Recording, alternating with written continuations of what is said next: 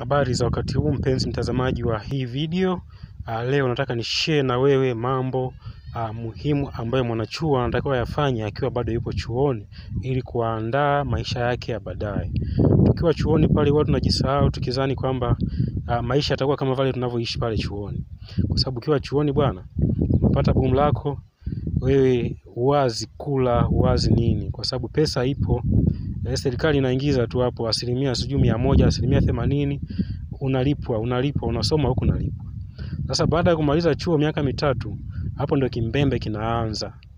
Utasugua utasugua ambako unakuta ile soli sasa pale nyuma imeisha kabisa, alafu huna hata shilingi mia ya kusema kwamba upeleke kwa fundi viatu angalau arekebisha aweke soli nyingine.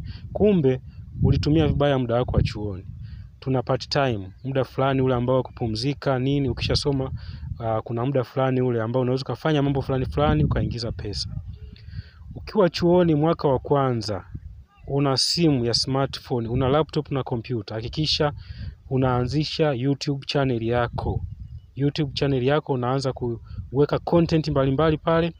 Uh, ukitaka kufundishwa content gani uziweke, basi wasiliana nasi WhatsApp 0652428852. Tutakutrain vitu gani uweke ili uweze kuwa maarufu, hiyo channel yako iwe maarufu. Mimi najuta kwa nini sikuanza nikiwa chuo. Kama ningekuwa na uh, YouTube yangu channel nikiwa chuo uh, sasa hivi nisingekuwa tena nahangaika kwamba kuanzisha YouTube mpya leo. Maana YouTube yangu iko na subscriber zaidi ya laki moja naweka kuingiza dola hata hamsini kwa siku. YouTube yangu ikiwa na subscribers laki moja nina uhakika kuingiza dola hamsini ambayo ni zaidi ya laki moja uh, kwa siku. Sasa hapo, je, nitaendelea kuhangaika kutafuta ajira maofisini? Hapana, tunajua kuna tatizo la ajira. Sasa tukisoma pale, tusizani kwamba tutamaliza tutaajiriwa na serikali, tutaajiriwa na mashirika. Hapana, hakuna ajira. Watu wana miaka kumi saizi wako mtaani hawana ajira eh. Kwa hiyo anza kujiandaa saizi ambayo upo chuoni, chukua huu ujumbe, we learn through mistakes. Mimi nishafanya makosa, lakini sitaki wadogo zangu huko na nyinyi mfanye makosa. Kwa hiyo ukiwa hapo chuoni mwaka wa kwanza kabisa, hakikisha una YouTube channel, alafu tunakutrain Tafute WhatsApp 0652428852. Utawekewa matangazo kwenye YouTube channel yako, utaanza kuingiza pesa ukiwa bado uko hapo hapo chuoni, unaendelea kupokea hiyo boom lako na unapata extra money from YouTube au blog. Blog ni nini? Ni kama website tu, ambao website unaifahamu website ni nini?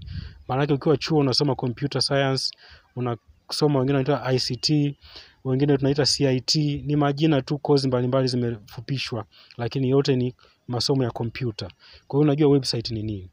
Uh, ukishakuwa na blog yako unaandika content mbalimbali hapo kwenye blog yako, unafundisha watu kile unachokijua au kile unachokipenda, unafundisha kwa, kwa text, unaweka picha, unaweka maandishi, basi watu wanakuwa wanasoma. Wakisearch Google taarifa fulani fulani wanaipata kwenye blogu yako.